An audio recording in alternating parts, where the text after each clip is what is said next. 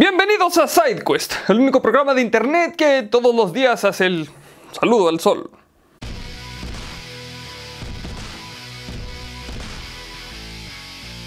Usando un proceso de diseño por inteligencia artificial, ingenieros de la compañía de software Autodesk y el laboratorio de propulsión Jet de la NASA crearon un nuevo concepto de lander interplanetario que podría explorar lunas distantes tales como Europa o Encélado.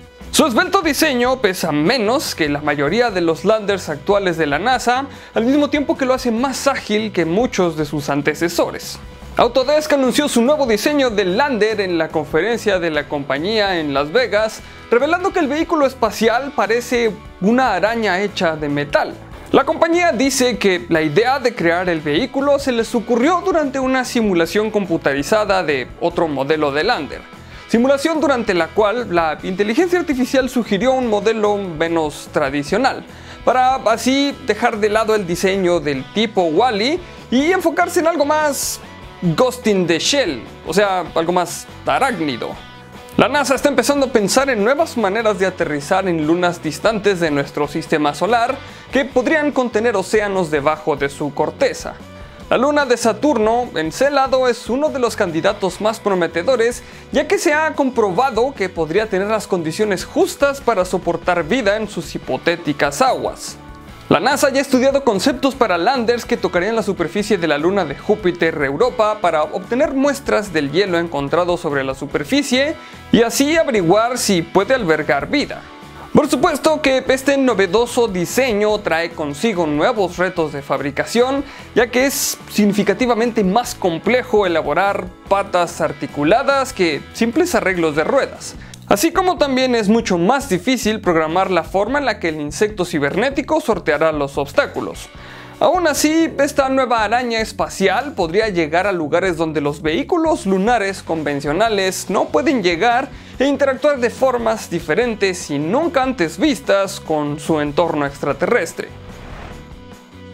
Hidetaka Miyazaki, el jefe ejecutivo de From Software y creador de las exitosas series de Bloodborne y Dark Souls, fue honrado con el logro de la vida en la 36 entrega de los premios Golden Joystick llevada a cabo el viernes pasado en Londres, Inglaterra. El honor a la carrera de Miyazaki fue lo más interesante en una noche en la que Fortnite Battle Royale se llevó básicamente todos los premios por juego del año. God of War por mejor historia, Red Dead Redemption 2 se llevó el premio de la crítica y el control adaptativo de Xbox se llevó una mención por ser una contribución para facilitar la jugabilidad a personas con discapacidad. Miyazaki dijo en su discurso de aceptación del galardón que recibir un premio del prestigio del Golden Joystick lo sorprende mucho y lo llena de gran honor y que estaba tremendamente agradecido con todos los que han jugado, disfrutado y apreciado sus juegos, así como también dio crédito a todo el equipo que contribuyó en el desarrollo de la popular serie que se destaca no solo por su gran calidad y atención al detalle, sino también por su capacidad de provocar rage quits. El premio Logro de la Vida también se entrega en otras ceremonias como en los Grammys y es de gran importancia ya que es algo así como el mayor logro desbloqueado de la vida y se entrega muy pocos. Solo aquellos que han hecho una aportación sin precedentes, en este caso al mundo de los videojuegos, gente que ha cambiado o incluso creado un género nuevo. Para dar un ejemplo, otro ganador de este galardón fue Hideo Kojima, famoso y controversial creador de Metal Gear, quien lo obtuvo en 2014. La curiosa y últimamente muy popular Polilla Emperador no es solo un famoso meme en internet, también es un bocadillo muy codiciado por una gran variedad de murciélagos. Para contrarrestar esto, la polilla está diseñada con pequeñas escamas que absorben las ondas de sonido. Esta absorción reduce el eco que los murciélagos captan, enterándose así de la ubicación de la jugosa polilla. Esto según lo indicado por investigadores el pasado 12 de noviembre en Proceedings of the National Academy of Science. Los murciélagos perciben su entorno utilizando ecolocalización, un proceso en los que los propios murciélagos hacen ruido para que este rebote con los objetos que los rodean y regrese en forma de ecos que son captados por sus súper sensibles orejas. El equipo de científicos disparó ondas de sonido a una pequeña escama de polilla a escala microscópica y observaron la manera en la que la energía producida por el sonido se convertía en movimiento. Los investigadores simularon el proceso utilizando un modelo 3D generado por computadora que mostró que la escama absorbió hasta el 50% de la energía de las ondas sonoras. Posteriormente, Mac Holderith, investigador de bioacústica de la Universidad de Bristol en Inglaterra, autor del estudio, ordenó a sus colegas bombardear a una polilla para verificar cuál es el efecto completo de absorción de sonido aplicado a toda una capa completa de escamas en vez de solo una. Y descubrieron que estos bichos voladores, amantes de la luz, son capaces de absorber el sonido en hasta un 85%. Así que, ya sabes, si de pronto vas a alguna reunión con murciélagos y prefieres pasar desapercibido, solo necesitas un abrigo de escamas de polilla. Un patrón de puntos perforados en la roca de un antiguo refugio de piedra euroasiático representa un juego de la era de bronce que se suponía hasta ahora había existido en esa época únicamente en Mesopotamia, Egipto y otras regiones en el este. El juego consiste en 58 agujeros que representan sabuesos y chacales. Esto lo explicó el arqueólogo Walter Christ del Museo Americano de Historia Natural en la ciudad de Nueva York, quien descubrió el sitio. También explicó que este descubrimiento tiene una edad de más o menos 4.000 años y que se encuentra en lo que hoy en día es Azerbaiyán. Chris reveló esta información el pasado 15 de noviembre en la reunión anual de las Escuelas Americanas de Investigación Oriental. Azerbaiyán se encuentra entre las montañas del Cáucaso y el mar Caspio, por lo que el hallazgo significa que los pastores de la edad de bronce de la región debieron haber tenido contacto con sus vecinos del este cercano, mencionó Christ, por lo que probablemente estos juegos antiguos fueron pasando de cultura a cultura actuando como un lubricante social. Chris viajó a Azerbaiyán y encontró el sitio debajo de los escombros dejados por una excavación cuyo objetivo era preparar el terreno para construir complejos habitacionales y se dio cuenta de que la roca contaba con el mismo patrón de 58 hoyos que arman el juego de dos jugadores. Este patrón consiste en dos filas centrales de puntos, dos filas exteriores que se juntan en un punto por encima de las filas centrales. El número de puntos puede variar, pero casi siempre son 58. Los jugadores arrojaban un dado que movían pequeñas rocas dentro de los hoyos de cada lado del juego, cada uno tratando de alcanzar la meta. Por sus características se cree que este juego podría ser el ancestro del Backgammon actual. Un reporte de la agencia de noticias Yonhap de Corea del Sur la semana pasada ha revelado el nombre, fecha de salida al mercado y un precio oficial para el primer dispositivo plegable de Samsung el cual fue presentado hace dos semanas en su conferencia de desarrolladores.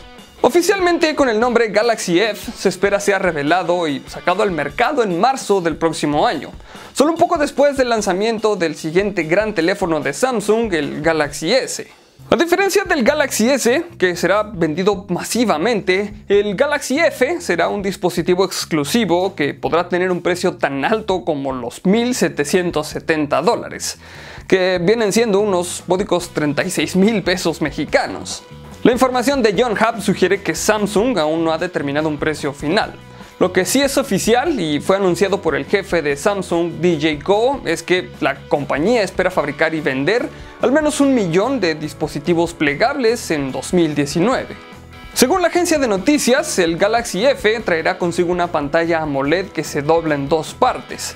Tendrá soporte para banda 5G 512 GB de almacenamiento interno, soporte para dos SIMs, una batería con forma curva con una capacidad de 3000 hasta 6000 mAh y sistema operativo Android. La verdad no sabemos qué esperar respecto a este aparato. Si bien la tecnología luce interesante y podría generar una nueva ola de teléfonos plegables por parte de todas las marcas, también podría ser un fiasco tremendo y pasar a la historia como uno de esos fracasos tecnológicos como el Virtual Boy. Usando un telescopio en Chile, astrónomos han descubierto una estrella que se comporta de manera diferente a las demás, ya que en vez de conservar su luminosidad de manera constante, esta estrella más bien titila o parpadea alternando la intensidad de su luz. Esta nueva estrella no es la única con esta peculiaridad, ya que anteriormente se descubrió a Tabi, una estrella que incluso se llegó a pensar era una megaestructura alienígena. La idea de la megaestructura fue publicada originalmente en 2015, para posteriormente ser desmentida de forma rotunda por los datos obtenidos por varias ondas espaciales que revelaron que en vez de luces provenientes de la actividad diaria de una nave extraterrestre, más bien eran partículas de polvo que se pasaban enfrente de la luz y eso daba el efecto de que ésta se encendía y se apagaba. Pero como pasa muchas veces en la ciencia, esta creencia también está siendo desmentida hasta cierto punto. Esto según lo informado por Robert Saito de la Universidad Federal de Santa Catarina en Brasil.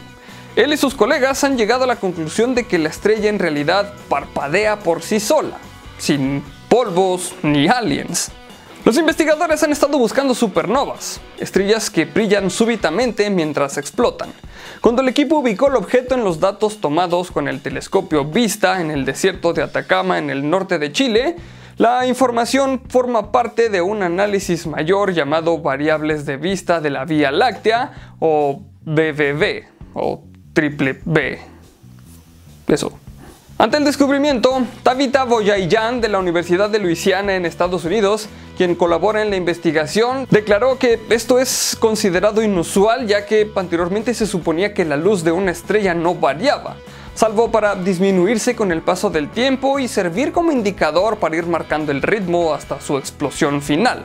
Pero con la aparición de cada vez más estrellas como Tavi, se puede concluir que hay más estrellas que parpadean por sí solas, aunque aún se desconoce la causa.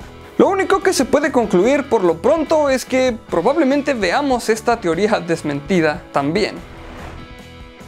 Los científicos pronto tirarán a la basura un pedazo de metal que sirve justamente para definir la masa de un kilogramo. Este objeto cilíndrico, conocido como Le Grand K, fue forjado en 1879 y es conservado cuidadosamente en un área segura y un entorno controlado en las afueras de París. El 16 de noviembre se llevó a cabo una sesión en la 26 Conferencia General de Pesos y Medidas en Versalles, Francia, donde representantes de muchos países alrededor del mundo votaron por tirar el kilo oficial a la basura, poniendo así en marcha un plan para redefinir varias unidades de medida no solo el kilogramo.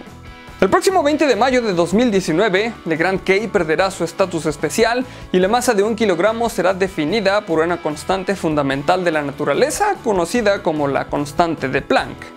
Al mismo tiempo, otras unidades del sistema métrico también serán redefinidas. El ampere, unidad de corriente eléctrica, el Kelvin, la unidad de temperatura y el mol, unidad de cantidad de sustancia.